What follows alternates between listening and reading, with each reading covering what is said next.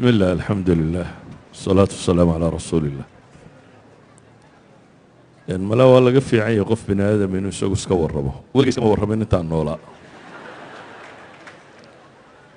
nin badan baa ama t v ama qolo jaraa'ida ama qolo raadiyo waa ii yimaadeen oo waa ku waraysanayna weligeyna war ma bixin weligeyna t v ma tegin waxaa dadku daawadaan masaajidda un bay ka qaateen cajaladaha yaalla dee waxaan islahaa cali markuu iska warramo ka dambaysid calina diid inuu warramo. Marka wax badanoo idin sheego runtii ay idinku kordhinaysaana ma jiro. Wakhtigiina la lumiyo maaha. Anuu ragga halkan fadhiya waa ka wada da-weynaan u malaynaya sheekh maxamed umar mala isku dhadhownahay mustafa xaj ismaaciil haaruun baa la yidhaahdaa. Reer wadaadaa baan ka dhashay aabbahay xaaji baa uu ku magac dheeraa nin sheekh uu ahaa. Awogay aw haaruun baa la odhan jiray. Awogay ka dambeeya aw yuusuf baa la odhan jiray. Reer culummo oo diin ku taxan ayaan ka dhashay reer ahaan. Gobolka burcaan ku dhashay. Wakhtigii isticmaarkaanan dhashay. Intii aan dowladda soomaaliya dalanin dadka geedka hoostiisa ku dhashayna waa ka mid ahay. Inkastoo aabbahay allah u naxariisto shan iyo afartan sannadood buu cadan deganaa nineteen sixty three buu ka soo noqday. Laakiin dhaqanku wuxuu ahaa in islaamaha loo diro baadiyo ay baadiye ku dhashaan. Iyadoo la diidan yahay dhakhtarka iyo raggaa joogiya waxaasi aanay islaamuhu rabin ee loo diro hooyadeedoo baadiye joogta inay baadiye lagu soo umuro intaanu walaalaanay nin qura nagaga dhashay cadan. Intayadii kaleba baadiyaana loo diray baadiyaanu ku soo dhalannay baadiyaha gobolka togdheer ee burco ayaan ku dhashay. Isagaan wax ku bartay. Malcaamad dugsi hoose dugsi dhexe institutekii jarmalka ee burco ku yaalay intaasaan ka baxay. Takhasuskaygu tumaalnimada laydhku ahaa. Jaamacaddii soomaaliyeed baan ka baxay kun sagaal boqol iyo siddeetankii iyadana takhasuskaygu tumaal laydha baan kaga baxay korontada. Ya tumaalku waa farsamo yaqaan waa farsamo yaqaan laydh baan kaga baxay jaamacadda. Kadibna waxaa noqday macallin. Dugsiga farsamada gacanta ee jarmalku dhisay ku yaalla magaalada burcan macallin ka noqday. Markaan muddo sanad iyo meelaha joogay dowladdii soomaaliyeed baa ay xidhay. Dowladdaas soomaaliyeed ma rabo wax badan inaan ka sheego. Laakiin intay meelooda wax ku xidhi jirtayba waan soo maray. Station police waa laygu xidhay n s s waa laygu xidhay xero gulwado waa laygu xidhay xero military waa laygu xidhay dhabarjabin waa laygu xidhay jeel waa laygu xidhay. Weligeyna maxkamad layma taagin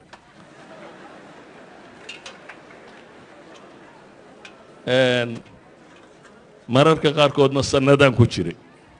Mararka qaarkood baan soddon bilood ku jiray. Calaa kulli xaal waxbarashada diineedna waxun bay ahayd. Un culammada soomaaliyeed ee waddanka degan wixii aanu ka bowsannay. Ma jirin waddan dabadeed aanu baxay. Intii dambana si aanu joogo un waddanka soomaaliya ayaa dagaaladii jabhaduhu ka dhaceen. Magaalada burcaan joogay markii jabhadu soo gashay. Wakhtigaas baan waddanka ka baxay. Yurub iyo meelahaasaa niman xanuunsanayo aanu walaalana geeyey anigoo yurub joogaa dowladdii soomaaliyeedna dhacday. Ilaa sagaal iyo sagaashankii baan deganaa yurub. March nineteen ninety nine baan dib ugu soo noqday magaalada hargeysa ilaa haddana hargeysaan deganay laakiin socodkayga yurub waa tiro badan yihi koob iyo labaatankaa sannadood dambe burciya hargeysa un baan ka dhexeeya laakiin waa badan yahay socodkayga aan ku noqnoqdo yurub iyo meelahaan ku noqdo. Qaab nololeedkii soomaaliya soomaaliya waagii horena ee lixdanaadkiina democracy bay ahayd democracy qabiilkan uun ku salaysan haddaba aragtaan. Waxaan xasuustaa iyadoo meelaha markii doorashooyinkii dhacayeen. Dadku intay waddada maraan baa waxaa la jiray dhulka yaale ilaahay baa leh ka sokowna reer hebel baa leh saasa cirka yaale cirka iyo dhulkaa la sheegan jiray.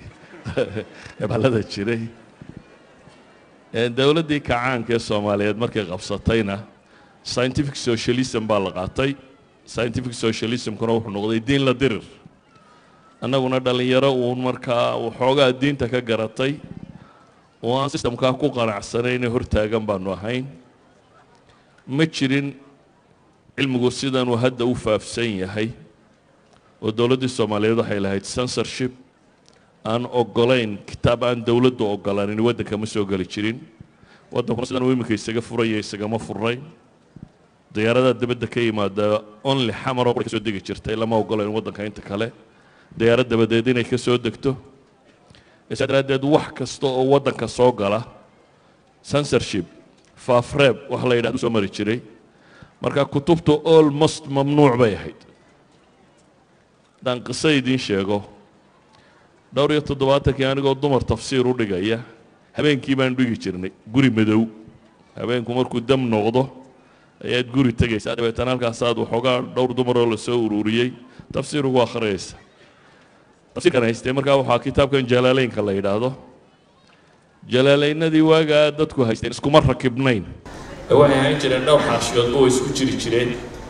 Dabeetana gal sare buu leeya ku daboolan. Habeenba labada xaashiyood aad dhigaysaad kala baxaysaa ila furfuran yahay.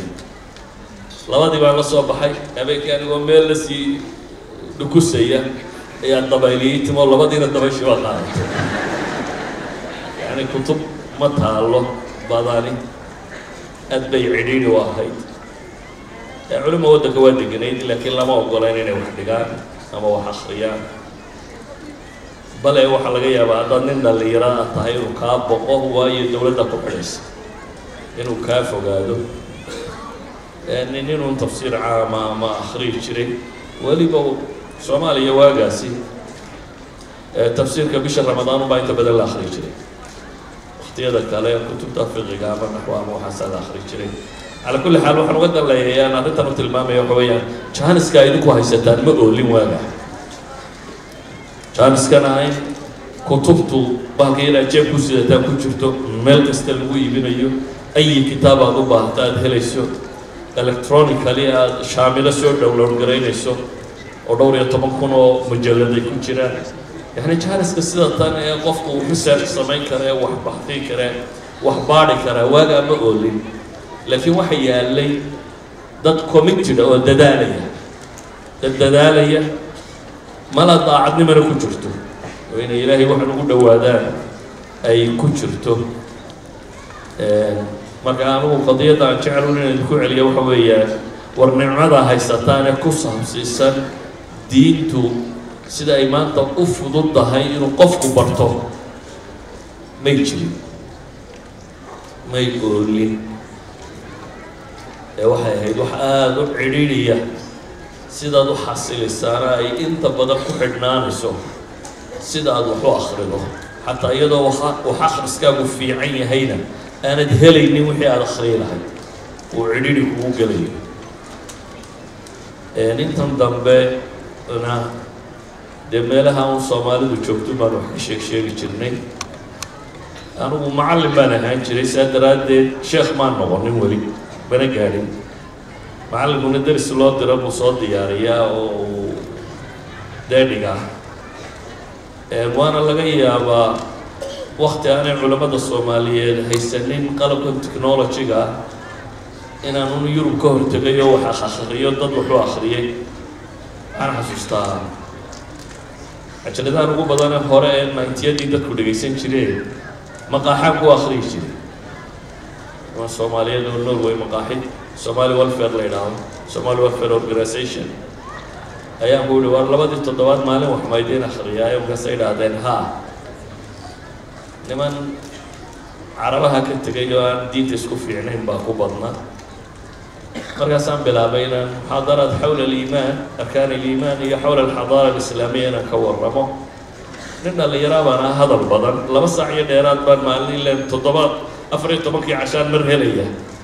Marka waxay noqotay markaa inaan laba saac iyo dheeraad hadlo. Dadka markaa cajaladahaas baa soo gaadho markaas la is yidhi malaa ninkana sheekh weyn bu ah. Sheekh weynna marna ma noqonin laakiin uun fursad aanay jirin anigu in wax la duubo maan rabin. Waxaan xasuustaa waxba ha duubinaan ku idhi nin dhallinyaraa baa intuu kamarad iska soo qaatay bu wuxuu yihi sheekh ama fadhiyo wax akhri ama iska timi xagga dambe ula fadhiista markaa waxaan kala doortay inaan wax akhriyo iyo iyo inaan iska tago. Markaasaan iska akhriyey. Dariskii dambaan imi maalintii dambe cajaladu sidan iminka ay u badayn uma badnayne v h s bay ahaan jireen v h s kana warshad baa badin jirtay keliya intay cajaladii qaadeen bay warshad geeyeen dabeetana dhowr boqoloo cajiladood bay ka dhigeen iyagoo meesha ku iibinayaan ugu imi in cabdillaahi xuseen kaahiye la yidhaahda iyo inaan loorane la yidhaahda iyo axmed baaruud iyo iyagoo iibinayaanu waar waa sidee dee waxaana iibinaysaa waxay dhahayn sheekh masaajidkaan kirada kaga bixinayna markaasaan iska aamusoo siri de masaajidkaan kirada alagaga bixiyo marka waxaan dadku duubayna anigu kuma talagelina inaan duubo t v-na weli ma tegin raadiona weli ma tegin wadaadku su'aalaha badan uu dadka weydiinayana mala in isagu ka jawaaba bay ku fiican tahay anigu intaasaan ku gabagabaynaya wasalaamu calaykum